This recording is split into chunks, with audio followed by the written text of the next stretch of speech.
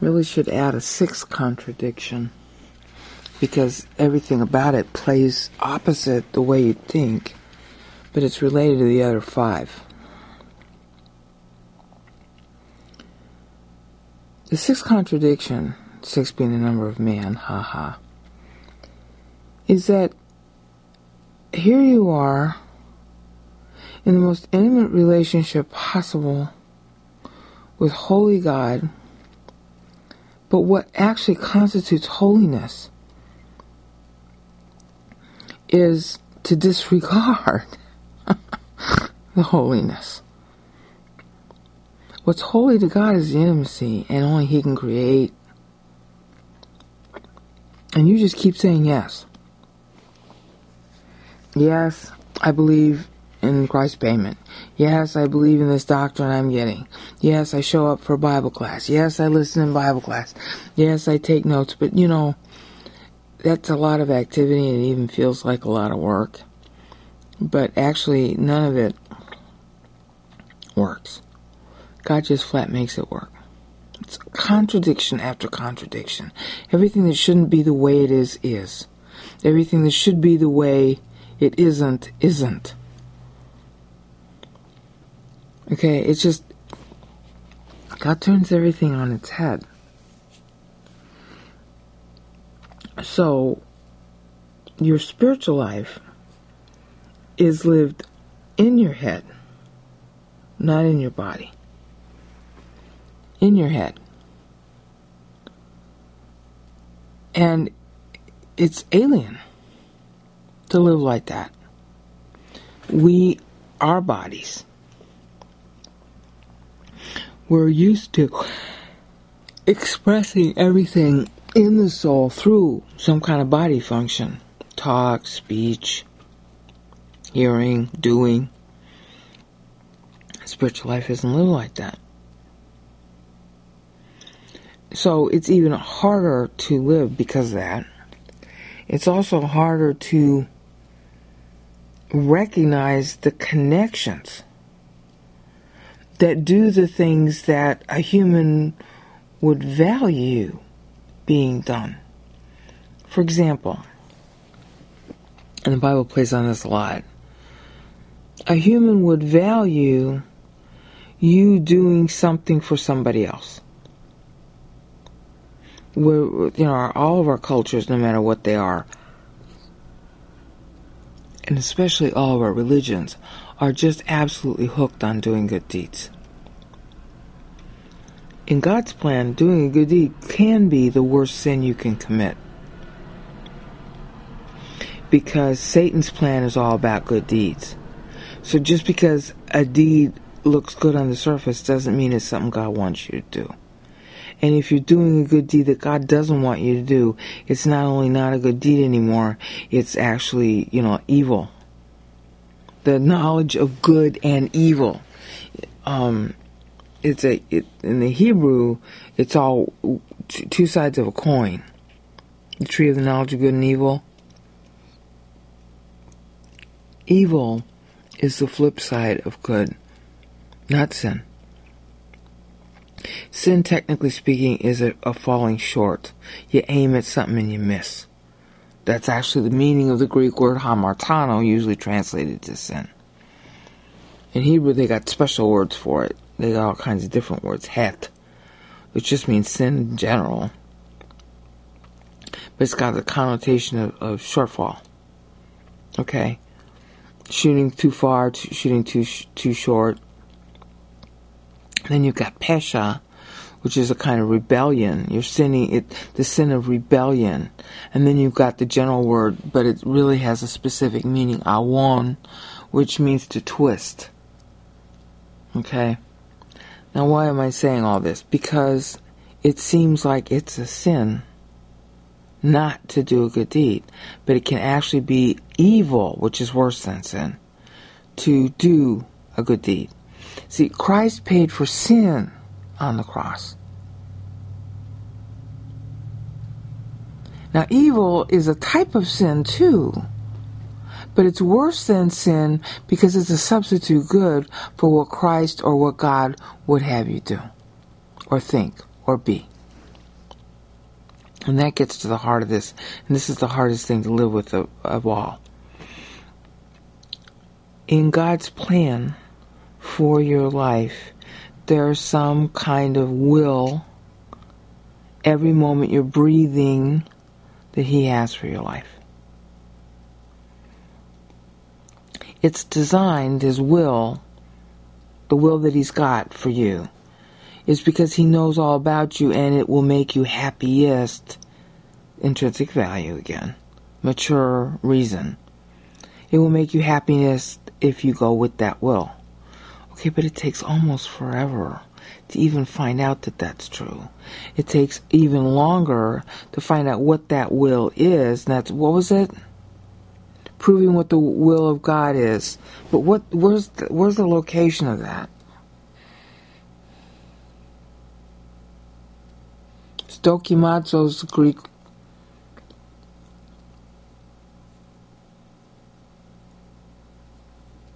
It's not. It's not Romans twelve one through three.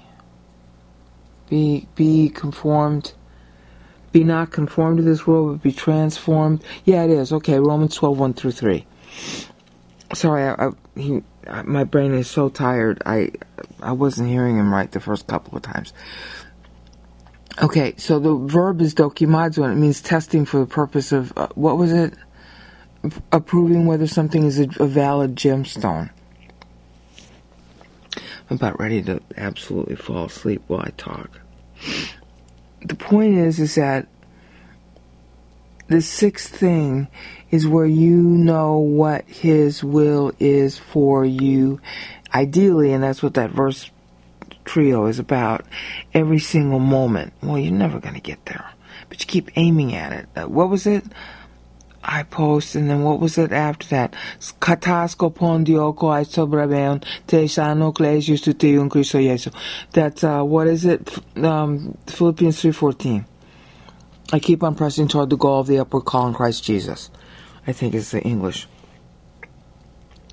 Um, you keep aiming at it. It's a contradiction because what God's will for your life is is often something you would never guess or if you guessed it, you'd say, oh no, that's too good to be true, or that's too bad to be true, or that's too something, and, and invariably involves a whole lot of doing nothing.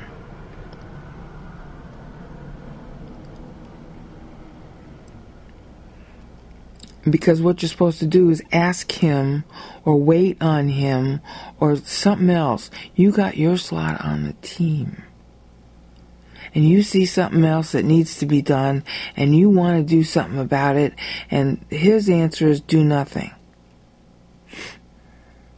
It's really hard to do nothing. It's like being a Buckingham Palace guard. You know, those famous guards, they just stand there and people walk up to them and try and get a reaction out of them, and they're supposed to just, you know, be stoic. Right? most of the time the answer is nothing. And it takes almost forever in the spiritual life to find out why that's the right answer. Sure doesn't seem like it. Everybody, oh, we should do something. March on Washington. Oh, President Obama does this. Oh, we all ought to just impeach him. Blah, blah, blah, blah. Yeah, that that's really not any different from somebody murdering somebody in order to solve a problem. You know, every sin that's committed is done to solve a problem. The allegation, the thing that makes you give in to sin, is it seems like it's going to solve a problem. It never does. Chances are doing nothing is the best thing to do. If ever you're unsure, just do nothing. Now, it's going to be really hard to do nothing if the job is vertical, if you're the fruit, not what you do, then your whole job down here is to learn and live on Bible. And in a way, the rest of the world, this is what seems so contradictory and even immoral about it. And in a way, the rest of the world you just ignore. Now, the reason why that's so important is that, frankly, only God knows what is the right thing to do and accomplish. That's first reason. Second reason is the thing that he knows that is right to do and accomplish is going to take a whole lot of people. So whatever you could theoretically do isn't enough. Won't work. So why would God want you to do something that doesn't work? When it's actually going to take like 50 people and at most maybe you dot the I. And everybody else does this other thing. But, and here's the important part, the motive, the justification, the juridical, especially the juridical, impetus for God doing anything about the situation is because you're on the planet and you're learning Him and they're not. Remember Sodom and Gomorrah? Thank you, Dad. Didn't know what example should be brought. I'm, I'm starting to fall asleep. I'm going to have to stop talking. Sodom and Gomorrah, Lot and his family were the only ones in that Pentapolis who believed in Christ and who, I guess, had some semblance of a spiritual life, but they were all carnal when he led them out. Because the girls, you know, the woman turned back. You know, Lot was bemoaning his fate. And the girls decided to have sex with their own dad in order to preserve their their family line. So they were all pretty much out of fellowship. But they obviously were saved. Because they, you know, listened. We're saving you, we're getting you out of there. Everybody else burnt. And people say, oh, it's homosexual, la la. No, you're misunderstanding the point there. The point was that they didn't listen. They got warning. They got warning. That's why those angels were in Lot's house. They were warned by Lot. They didn't care. They didn't care if it was angels. I'll bring them out so we can rape them. Know them is the euphemism for that. Pan Bible. Adam knew his wife and she bare Cain. Got that? So, the thing you do is like a tiny part of the whole, but the justification for the whole. Sodom and Gomorrah had to be wiped out. Should have been that Lot was wiped out too. But because of Lot, it was allowed to go on for X amount of time. And then when it was too great, then Lot was just taken out rather than spraying the whole city. Remember Abraham's argument? Well, what if there's 10? What if there's 20? What if there's 30? He did it backwards. And God said, I'll spare the whole city if there are that many righteous means believers. Now, you know, maybe some of them became believers while they were dying. I can hope so. But there weren't enough believers to justify sparing the city. And the idea was that the evil was so great that the city would have to be taken down. Well, that applies in reverse too. The amount of good that gets done is another form of evil. And why should God bother with it? You know, nobody wants him. So why shouldn't he stand off? But you're on the planet. So because of you, and he'll give you maybe even the role of dotting an I, which nobody's going to recognize. But actually, he's doing what he's doing partly because you're sitting there on that planet and you need that stuff. So it's the inverse of what it looks like your life means. It's really hard to live this. I, I haven't gotten it right. I can describe things. You know, whether or not I can execute the spiritual life is a whole other ball game. And I'd rank myself somewhere around a D or D minus. Maybe that's not true, but that's the way I feel about it. Carrying it out is a whole different ball game. Just knowing what it is takes years. And most Christians don't ever find out. So what is all they're doing to do? If you're busy doing what you think, you're going to gravitate toward doing good deeds which means that you're doing stuff, might as well be Sodom and Gomorrah. Good and evil are two sides of a coin. And what's most evil is most good. I mean, take a look at it. What is the liberal all about? Doing good deeds in the name of government. Assign it to government. Somehow government is magically virtuous, whereas corporations are magically bad. And if corporate, if government does it, monopoly. There's a big warning. Do not give it to government. If government does it, well, it'll be much more virtuous than when you give it to a whole bunch of corporations and they're competing with each other. So chances are they'll produce a better product, but we'll ignore that fact.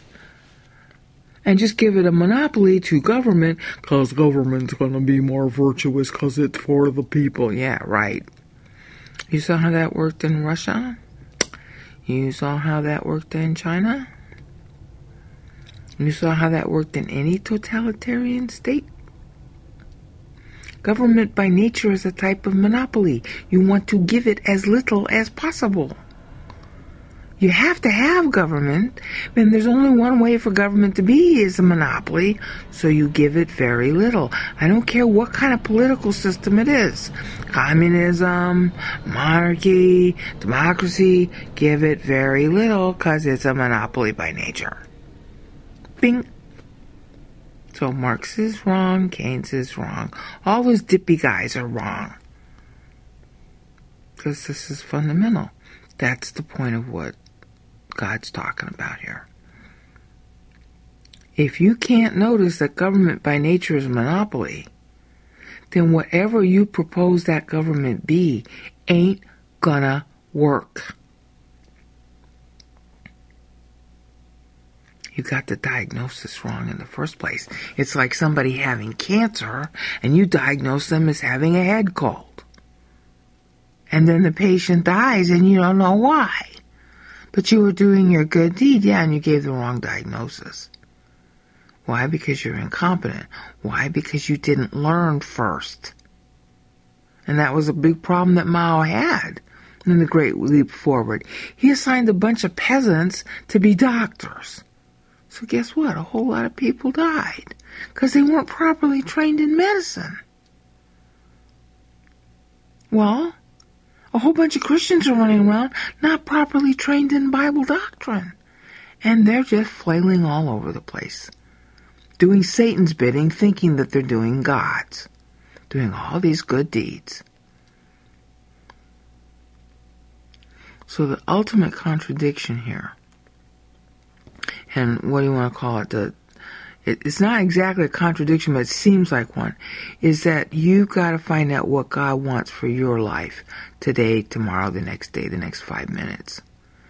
And chances are, what He wants, and it's hitting me really hard with this, so I got to stop, is not what you think He wants.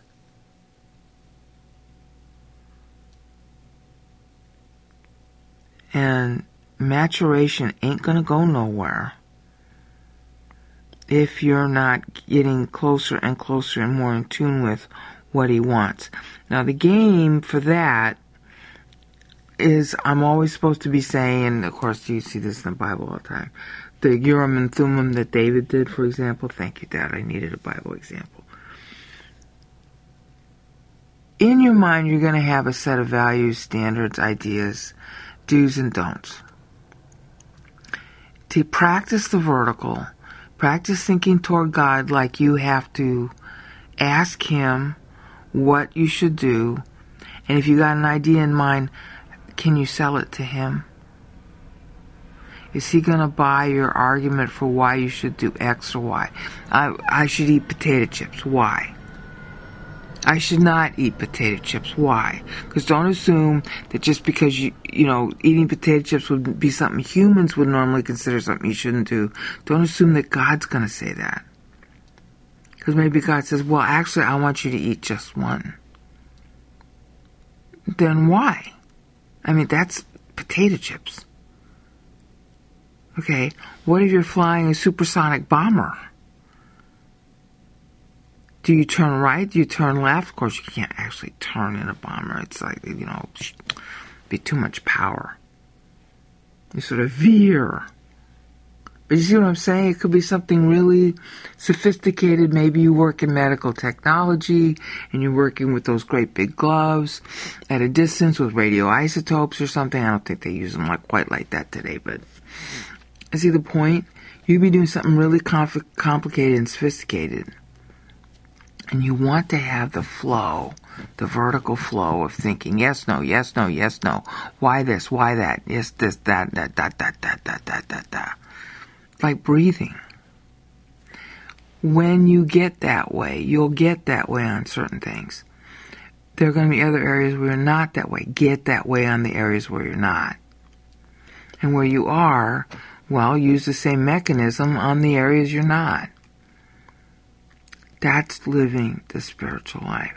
And it doesn't play like your typical Christian expects. There's almost nothing noticeable on a horizontal level because it's all thought process.